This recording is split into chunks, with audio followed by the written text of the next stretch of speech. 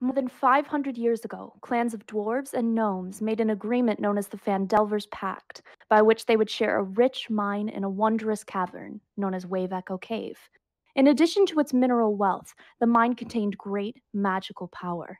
Human spellcasters allied themselves with the dwarves and gnomes to channel and bind that energy into a great forge called the Forge of Spells, where magic items could be crafted. Times were good, and the nearby human town of Phandalin prospered as well. But then disaster struck when orcs swept through the north and laid waste to all in their path. A powerful force of orcs, reinforced by evil mercenary wizards, attacked Wave Echo Cave to seize its riches and magic treasures. Human wizards fought alongside their dwarf and gnome allies to defend the Forge of Spells, and the ensuing spell battle destroyed much of the cavern. Few survived the cave ins and tremors, and the location of Wave Echo Cave was lost.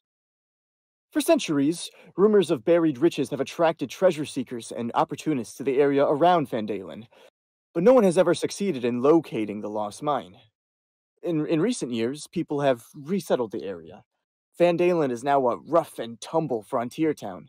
More important, the Rockseeker brothers, a trio of dwarves, have discovered the entrance to Wave Echo Cave, and they intend to reopen the mines. Unfortunately for the Rockseekers, they are not the only ones interested in Wave Echo Cave. A mysterious villain known as the Black Spider controls a network of bandit gangs and goblin tribes in the area, and his agents have followed the Rockseekers to their prize. Now the Black Spider wants to Wave Echo Cave for himself and is taking steps to make sure that no one else knows where it is. The world of the Forgotten Realms is where the story in this adventure takes place. In the realms, Knights dare the crypts of the fallen dwarf kings of Delzoun, seeking glory and treasure. Rogues prowl the dark alleyways of teeming cities such as Neverwinter and Baldur's Gate. Clerics in the service of gods wield and spell, questing against the terrifying powers that threaten the land. Wizards plunder the ruins of the fallen Netherese Empire, delving into secrets too dark for the light of day.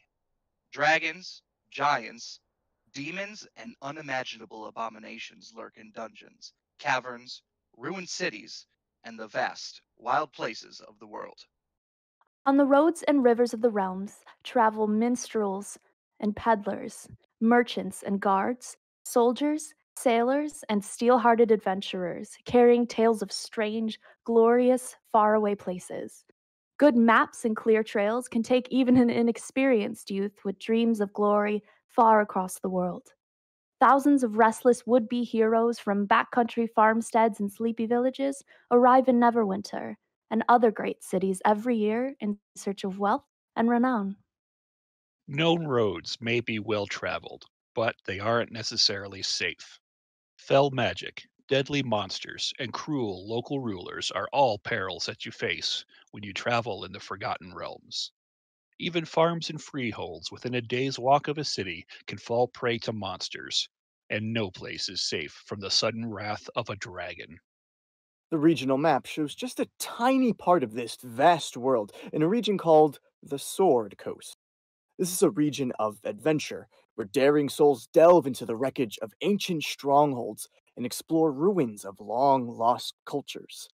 Amid a wilderness of jagged snow capped peaks, alpine forests, lawlessness, and monsters, the coast holds the greatest bastions of civilizations, including the coastal city of Neverwinter.